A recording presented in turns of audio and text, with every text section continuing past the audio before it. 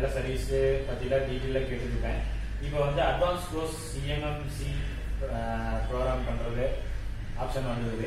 அவருக்கு சொல்லி கொடுக்குறேன்னு சொன்னார். அதனால் வந்து ஒரு டைம் பார்த்து பார்த்து போகலாம் வந்தேன். அவர் நல்லா சொல்லி கொடுக்குறத பார்த்து ஜாயின் பண்ணிட்டேன். வெப்சைட்டில் பார்த்தேன்.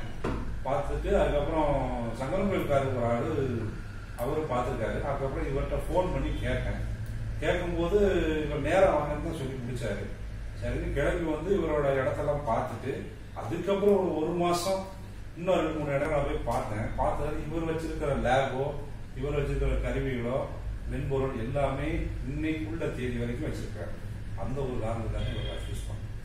ஆக்சுவலாக நான் த்ரீ இயர்ஸாக சர்வீஸ் பண்ணிட்டு இருக்கேன். எனக்கு ஒரு வந்து அந்த ஃபுல் ஃபில் ஃபில்ஃபில்மெண்ட்டே இல்லை. ஸோ நான் கொஞ்சம் அட்வான்ஸாக கற்றுக்கணும்னு சொல்லிட்டு முடிவு பண்ணேன்.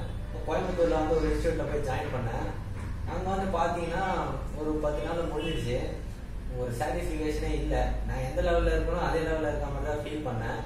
அதுக்கப்புறம் பார்த்தீங்கன்னா ஓகே நம்மளே கற்றுக்கணும் அப்படின்ற மாதிரி ஒரு மைண்ட் செட்டுக்கு வந்துட்டேன். இதுக்கப்புறம் ட்ரைனிங் இன்ஸ்டியூட் போக வேணாம் அப்படின்ற மாதிரி ஒரு முடிவு வந்துட்டேன். நான் பார்த்து சர்வீஸ் பண்ணிட்டு இருந்தேன். நான் யூடியூப்ல நிறைய வீடியோஸ் பார்ப்பேன். அப்போ பார்த்தீங்கன்னா நியூட்ரானோட வீடியோஸ்லாம் பார்த்தேன். இங்கே பார்த்தீங்கன்னா ஃபுல்லாக latest mobile phones android phones iPhones எல்லாம் பார்த்தீங்கன்னா ஃபுல்லாக நேனோ லெவல் மைக்ரோ லெவலில் பண்ணிட்டு இருக்காங்க அதை பார்த்தோன்னே ஓகே இங்கே போனால் நம்மளால நெக்ஸ்ட் லெவல் போக முடியும் அப்படின்ற ஒரு ஃபீல் வந்துச்சு. ஸோ நான் நியூட்ரானில் ஜாயின் பண்ணிட்டேன் ஐசி எப்படி ரிமூவ் பண்ண முடியும். எவ்வளோ ஈஸியாக ரிமூவ் பண்ணுறது அந்த ஐசி ஹீட் ஆகாமல் அந்த ஐசியை ஹெல்த்து போகாமல் ஈஸி எடுக்கிற மெத்தேடு அதே மாதிரி ரீபால் பண்ணுறதுக்கு எவ்வளோ ஈஸியாக பண்ண முடியுமோ அவ்வளோ ஈஸியாக சொல்லி கொடுத்தாங்க.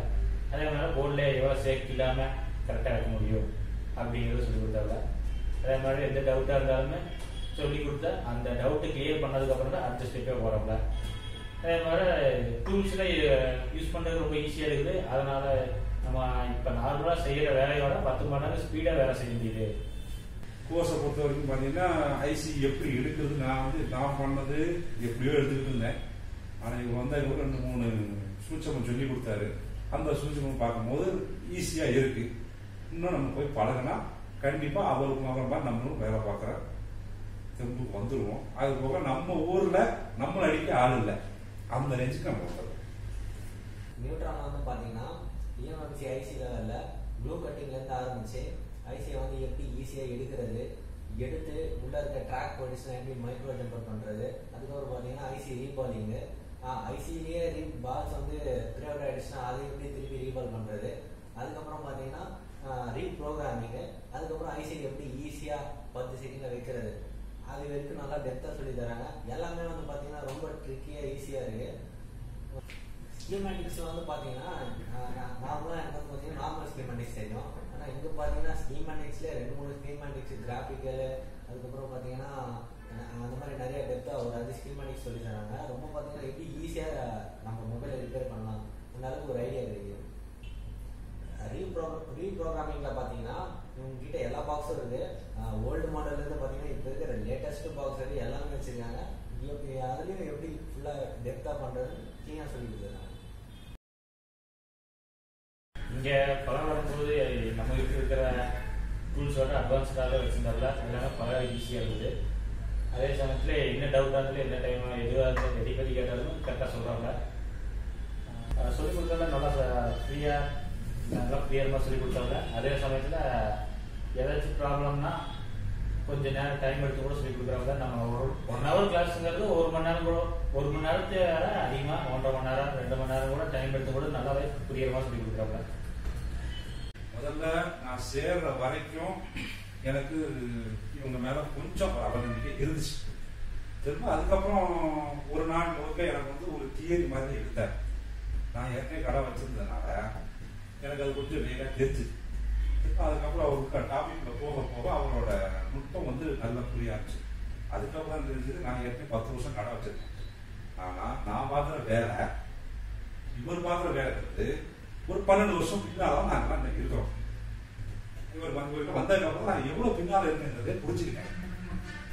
அது போக எந்தெந்த சந்தேகம் எப்ப கேட்டாலும் சரி கூப்பிடுறாரு. இன்னொன்று நான் பார்த்த வரைக்கும் இவர்கிட்ட படிச்சுட்டு போனாங்களோ இல்லை வேற யாரும் போனாங்களோ எந்த ஃபோனையும் கட் பண்ண மாட்டேங்காரு அட்டன் பண்றது அது பெரிய விஷயம். அதை நான் வந்து ஏற்றுக்கிறேன் அது என்னோட கோர்ஸ் நேரத்தில் கொஞ்சம் டிஸ்டர்பன்ஸாக இருந்தாலும் ஆனால் கால் அட்டன் பண்றாரு. அது வரைக்கும் என்ன இது எதுக்கு நீங்கள் நீங்க நாளைக்கு படிச்சுட்டு போனீங்கன்னா நீங்க சந்தேகம் ஃபோன் பண்ணீங்கன்னா கண்டிப்பா உங்களுக்கு பதில் இருக்கிறது அதனால நீங்க தைரியமாக வரலாம்.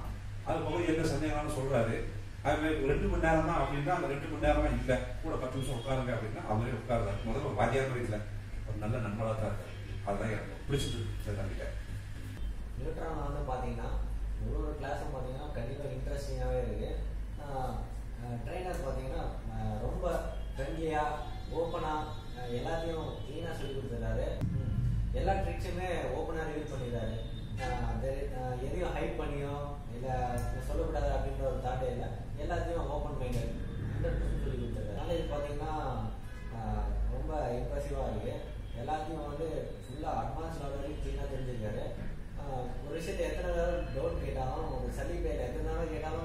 புரியுற வரைக்கும் அதை புரிய வச்சுட்டு அடுத்த ஸ்டெப் எடுக்கிறாரு. ஸோ வந்து அது பார்த்தீங்கன்னா ரொம்ப கம்ஃபர்டபுளாக இருக்கு. நூற்றாண்டு இங்க உள்ள வந்துட்டோம்னா நம்ம வெளியே போகும்போது அடுத்த லெவல்ல இன்னும் அடுத்த அப்டேட்ல தான் போகும். நான் அங்கே வந்து ஒரு வாரம் ஆகுது. ஒரு நாளில் சொல்லக்கூடிய விஷயம் இல்லை. நான் பேசணும்னா இன்னும் ஒரு பத்து நாள் பற்றி பேசணும் இன்ஸ்டியூட்டை பற்றி பேசணும். அதனால இந்த ஒரு பழத்தை வந்து நீங்க சுவைச்சிட்டு சுவை எப்படி இருக்குன்னு கேட்டிங்கன்னா உங்களால சொல்ல முடியாது. இந்த சாப்பிட்டு பாருங்க சொல்ல முடியும். இதுதான் என்னுடைய கன்க்ளூஷன் வேண்டாம். வந்து பார்த்துட்டு அதுக்கப்புறம் நீங்க சொல்லுங்க. அதை எப்படின்னு ஆஹ் எல்லாமே பார்த்தீங்கன்னா ஃபுல்லி அட்வான்ஸ்டு இதுதான். அப்ராட் எப்படி பண்ணிட்டு அதே மாதிரி எல்லாமே லேட்டஸ்ட் வரைக்கும் ஃபுல்லாக ரீட் ஆகிடுது